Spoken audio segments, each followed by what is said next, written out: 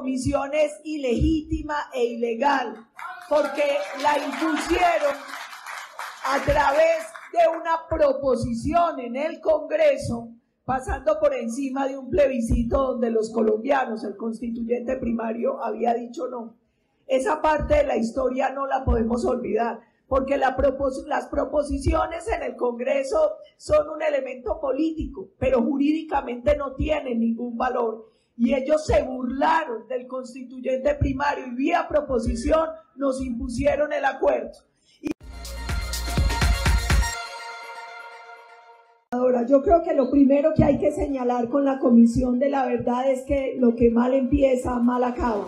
Y esa comisión es ilegítima e ilegal porque la impusieron a través de una proposición en el Congreso pasando por encima de un plebiscito donde los colombianos, el constituyente primario, había dicho no.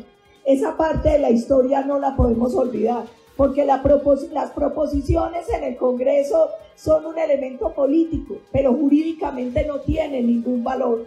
Y ellos se burlaron del constituyente primario y vía proposición nos impusieron el acuerdo.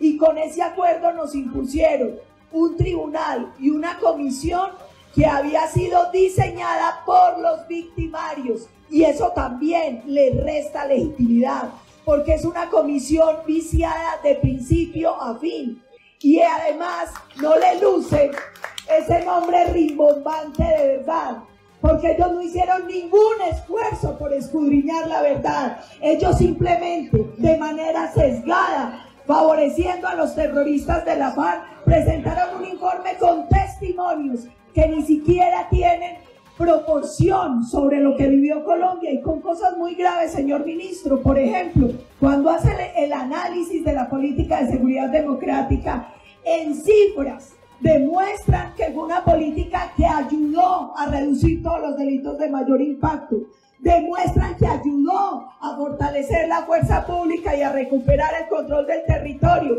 Pero cuando hacen los comentarios a esa política son totalmente contrarios a las cifras que ellos no lograron ocultar y que son una realidad y que demuestran que la verdadera paz es la seguridad, que la verdadera paz es garantizar la justicia, y ahí tenemos un problema adicional.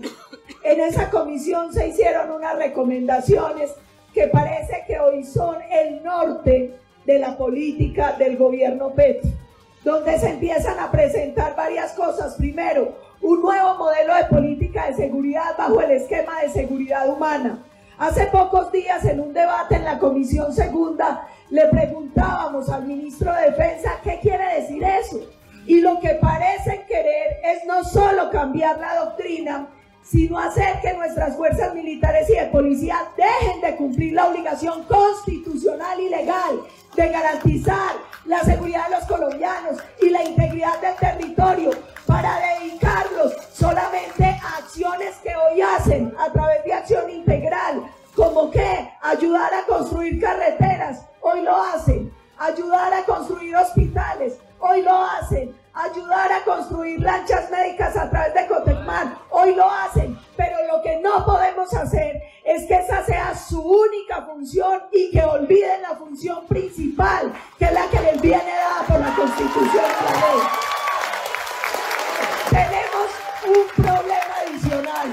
En ese informe recomiendan reducir el tamaño de la fuerza pública. Señores, no nos llamemos a engaños. Colombia sigue teniendo graves amenazas internas y externas. El narcotráfico no ha desaparecido, la minería ilegal no ha desaparecido, las estructuras criminales no han desaparecido y el debilitamiento de la fuerza pública solo pone a los colombianos a expensas de esas amenazas con un elemento adicional. Venezuela, Nicaragua eran amenazas para Colombia. Y hoy resulta que son los aliados del nuevo gobierno. Hoy resulta que Petro va con su gabinete y su ministro de Defensa a reunirse con Padrino.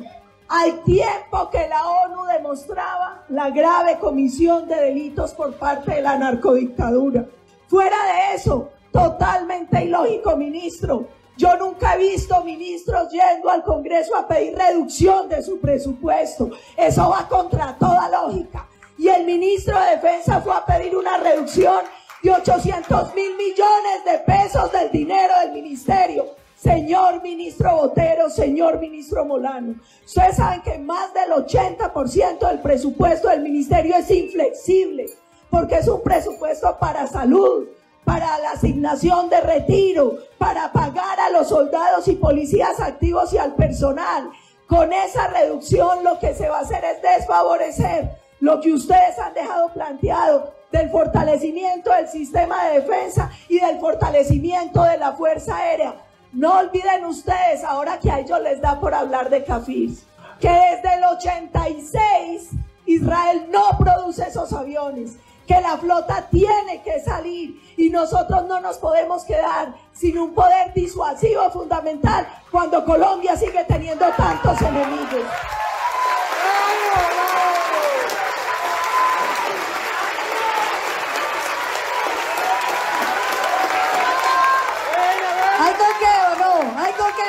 ¿Hay